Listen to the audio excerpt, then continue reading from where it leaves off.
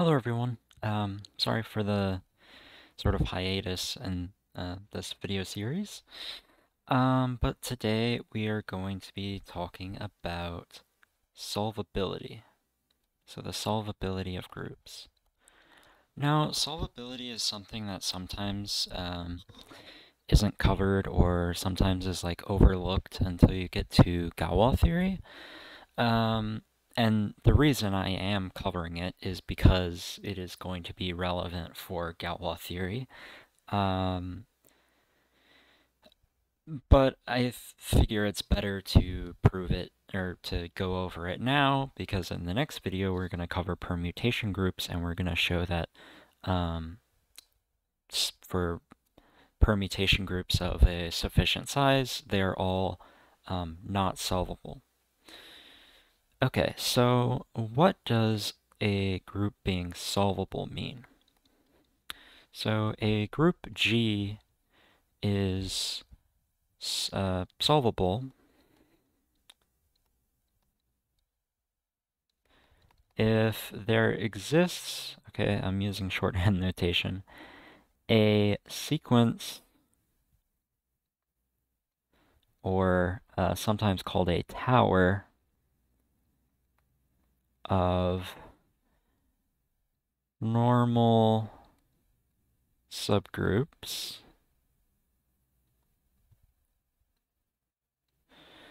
uh, in such a way that uh, your first normal subgroup is like the whole group G, and then um, it is it is a nested sequence. So each um, each next subgroup is uh, normal in, in like it, you'll see. So like H1 is normal in G, and then H2 is normal in H1. And uh, notice that I think I mentioned this in a previous video that um, this doesn't necessarily mean that uh, H2 is normal in G. Uh, so I should just say say subgroups. Um, and so this continues on until you get to the bottom of the tower is just the identity group, right? The trivial subgroup.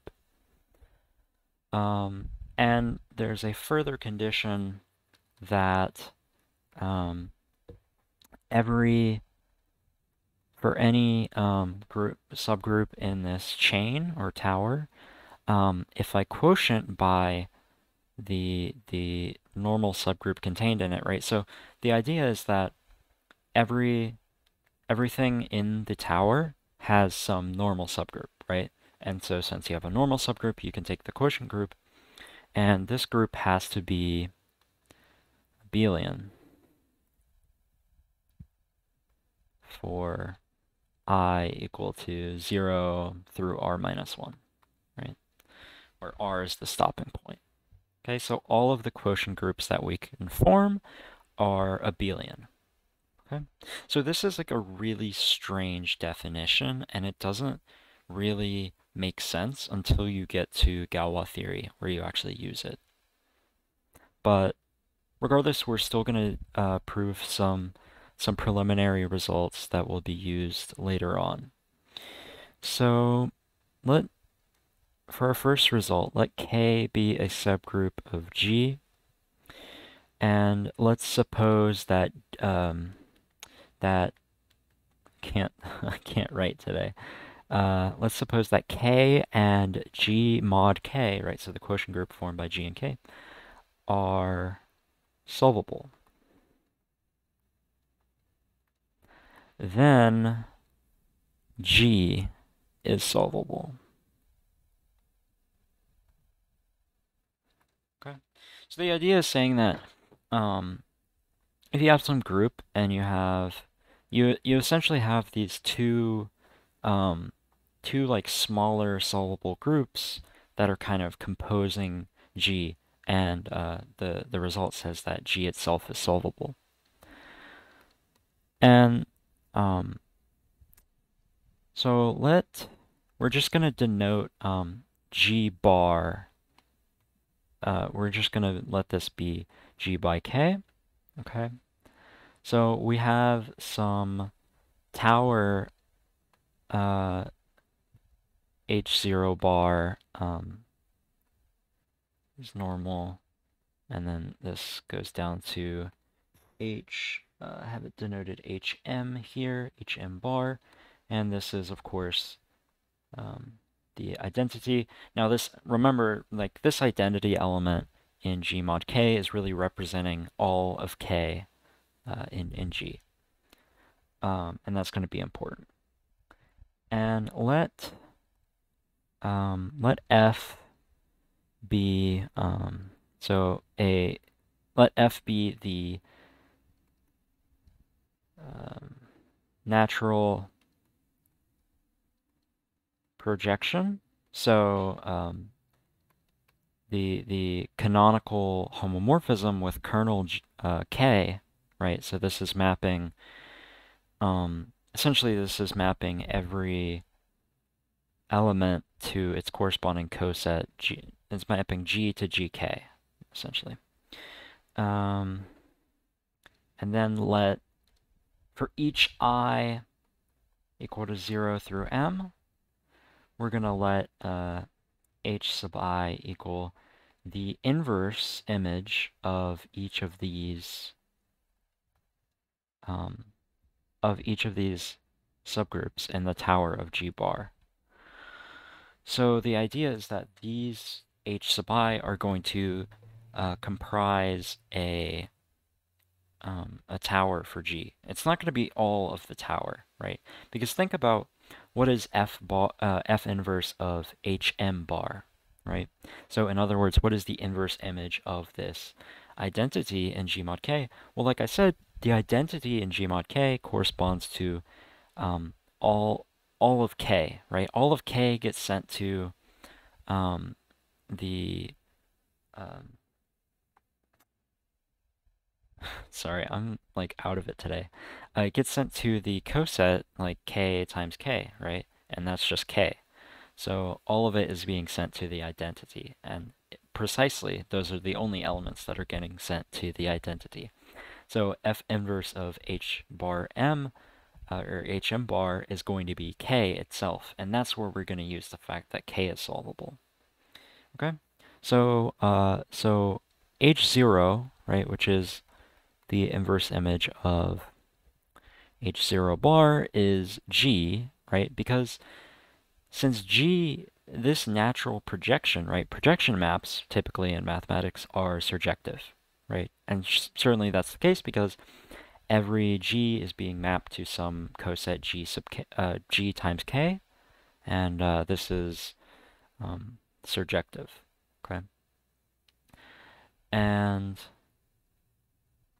hm, which is the inverse image of hm bar, is k, as previously mentioned. Um, by an isomorphism theorem that uh, I talked about in the last two videos, we have that h sub i mod h sub i plus 1 is isomorphic to h sub i bar minus uh, quotient h sub i plus 1 bar. So these groups are abelian, right? Because if you're isomorphic to an abelian group, then you're abelian. Um, thus, we have a partial tower, right, starting with h0, going down to hm, which is equal to k. Then, using a tower for k, since we know k is solvable, we get a tower for g. Okay, so that proves that g is solvable. Okay. Um, all right, let's look at another um, result if g is solvable then um, any subgroup, uh, and I think I kind of rambled about this in another video, that I'm using this notation to indicate that something is a subgroup, right? So a subset with a little g. Uh, any subset of G is solvable. Okay. And the proof of this goes as follows. So if we have some tower for G,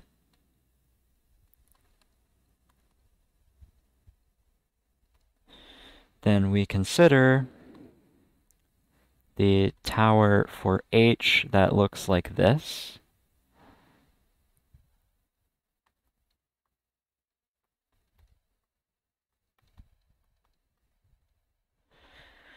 Um, so let us first justify that um, that h sub h bar or h h intersect h zero is equal to h. Well, that's true because um, g is h zero, so this is h intersect g, and g contains h, so um, h intersect g is just going to be h. Uh, h intersect hr, well, hr is just the identity, and um, since H is a group, right, is a subgroup of G, since it's a group, it must contain the identity, so the intersection will be the identity. Um, now, now, notice that we have H intersect H sub i, right, which is one of these groups, intersect H sub i plus 1 is just equal to um, h intersect h sub i plus 1, and this is a simple um, set argument, right? Um, so by, uh, I guess we should argue that, um, oh, sorry, I shouldn't have erased that. Um, we should argue that these are actually normal, normal subgroups, right? And this just follows from the fact that, um, okay, so like we know h sub i being, or sorry, h sub i plus 1 being normal and h sub i means if I take any element of h sub i then if I conjugate h sub i plus 1, I'm going to get h sub i plus 1 again. So if I take um, an element of h intersect h sub i, then that's also an element of h sub i. And so therefore, if I conjugate with, if I conjugate an element of h sub i plus 1, then I'll still get an element of h sub i plus 1. Furthermore, since um, since I'm also choosing from H, uh, and I also chose from H here, then the conjugate will be a product of three elements in H, and therefore it will also be in H. Um, so...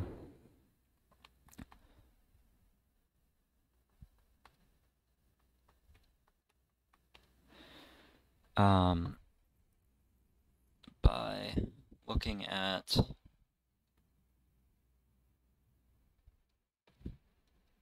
the conjugacy relationship.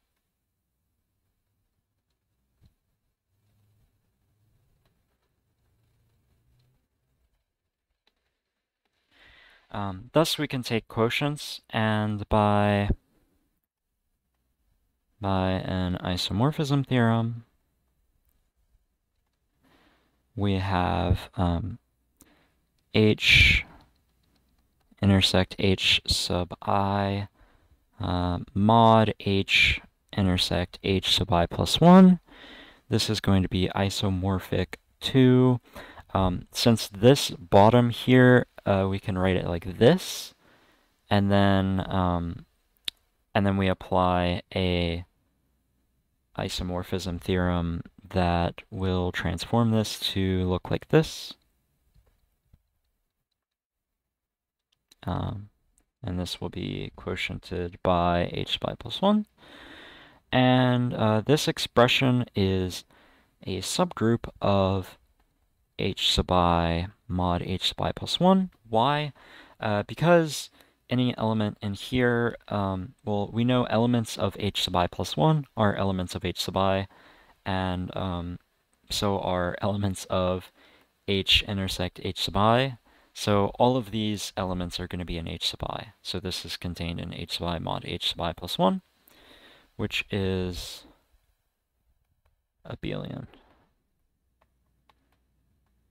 And we know that abelian subgroups, or sorry, subgroups of abelian groups are abelian. So we have that each of the quotient groups are abelian, and so we are done. We have a tower for h, so h is solvable. Okay. So hopefully by now you're getting used to the idea of how these sort of proofs go. Um, so first, we need a small little lemma that I don't think I mentioned and that is if G is abelian and F from G to some other group G prime is surjective morphism, or I think I was abbreviating it by hom, um, then G prime is abelian. Okay, so for the proof, um, let x and y be elements of G prime. We can write x equal to f of a and y equal to f of b since f is surjective, right? Uh, any element of G prime can be written as an image of F. Um, okay. Thus, xy, which is equal to f of a, f of b, is equal to f of ab. And now, since G is abelian, we can swap um, the elements a and b, and then we use the property of the homomorphism once more, and this is equal to yx. Um, so any two elements of G prime commute, and therefore G is abelian. Okay, so short lemma. Um, and now we're going to prove a similar result. Um, let me line this, which says that if if G is solvable and um, and f from G to G prime is a surjective homomorphism, then G prime is solvable. Okay. So let's take a look at the proof. And this proof is going to be quite long, um, but the idea is somewhat similar. So since we know G is abelian, we can start by uh, writing a um, a tower for G, right? Um, as usual. And okay. Uh, now let um, h sub i prime oops, uh, h sub i prime be the images of the h sub i. Um, clearly, um, h sub 0 prime, which is f of g, is equal to g prime by, uh, since it's surjective, right? The image, the definition of surjective means that uh, if I take the image of g, I'm going to get g prime. And f of um, h prime of r, which is f of the identity. Of course, the identity is always mapped to um, the identity in a homomorphism, so um, so we have these two relations, right? Um, so now let y be in h sub i plus 1 prime So, um, and let y equal f of a uh, with a in h sub i plus 1. Um, well, since since h plus since h sub i plus 1 is contained in h sub i, um, it's contained in h sub i, um, a is in h sub i, and y is in h sub i prime. Thus, um, h sub i plus 1 prime is a subgroup of h sub i prime. Okay. Now we just need to show that it is a normal subgroup, right? Um, if x equals f of b is chosen in h sub i prime, right? So b, where b is in h sub i, then um, we need to check that x, y, x inverse, right, the conjugate. We need to show that this is in um, h sub i plus 1 prime. Okay, So we can write this using um, properties of the homomorphism. So we get f of BAB inverse. And um, since h sub i plus 1 is normal in h sub i, BAB inverse is an element of h sub i plus 1. So f of BAB inverse is an element of h sub i plus 1 prime, right?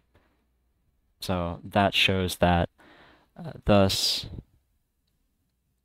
we have normalcy. Okay. Um, okay. Now we just need to show that the quotient groups that we form are abelian. And to do that, we are going to construct a, a map from one quotient group to another and then employ our, uh, our lemma.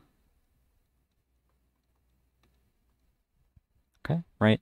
So our goal here is to show that this will be a surjective homomorphism, and then since we know these quotient groups are abelian, uh, that will tell us that these quotient groups are abelian. Okay. Um, and we are going to define this by uh, letting h times h i plus 1, right? So this is a uh, an element of this quotient group. It is a coset of h i plus 1, where h is in h sub i. And uh, this is going to be equal to the coset of um, h sub i plus 1 prime uh, times f of h. Okay. So first we need to check that this is well defined.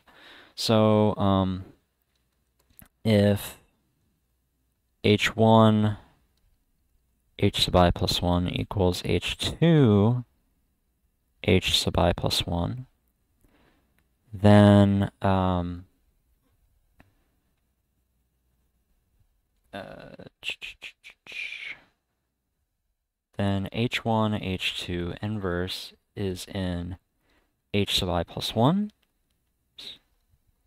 So f of h1, f of h2 inverse is in hi plus 1 prime. So um, f of h1, hi plus 1 prime is equal to f of h2 h sub i plus 1 prime. Again, we have to check that whenever we define a function or, you know, of a map from a quotient group and we define it on the cosets, we have to make sure that our um, definition does not depend on the representative that we choose, right? So here our formula explicitly uses h, but we have to show if the if two different h's give the same coset, then uh, the outcome gives gives also gives the same thing. Okay, and that's what we've shown here. Um, okay, so this is a homomorphism because uh, okay, so if I multiply two cosets inside, okay, then I can just multiply the representatives and look at that coset. Okay, and then I can apply uh, the the definition, and then I can apply the fact that this is a homomorphism. F, right, is our homomorphism, and um, this is H, this is primed, and so this is going to be f of h1, h by plus 1 prime, times f of h2, h sub i plus 1 prime, and this is, this shows that this is an isomorphism.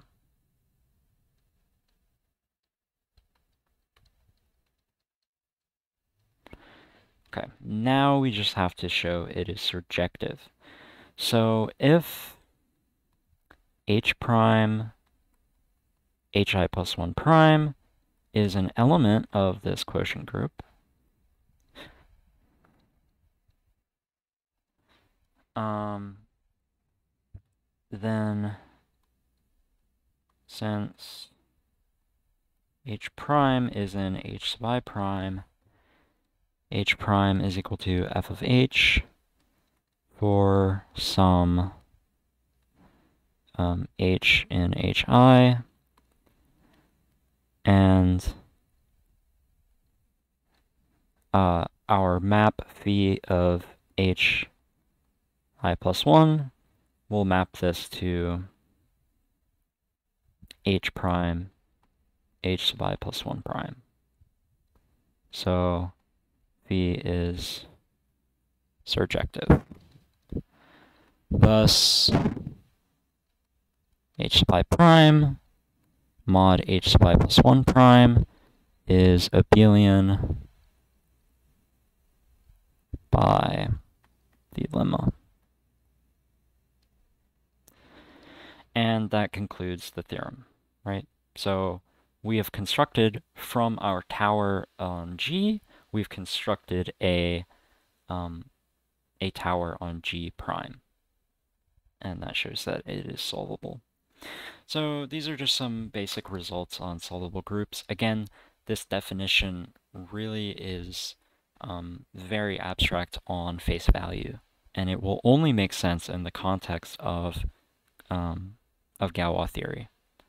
And it will show that um, the famous result that um, there is no general formula for the roots of a polynomial of degree 5 or higher, right?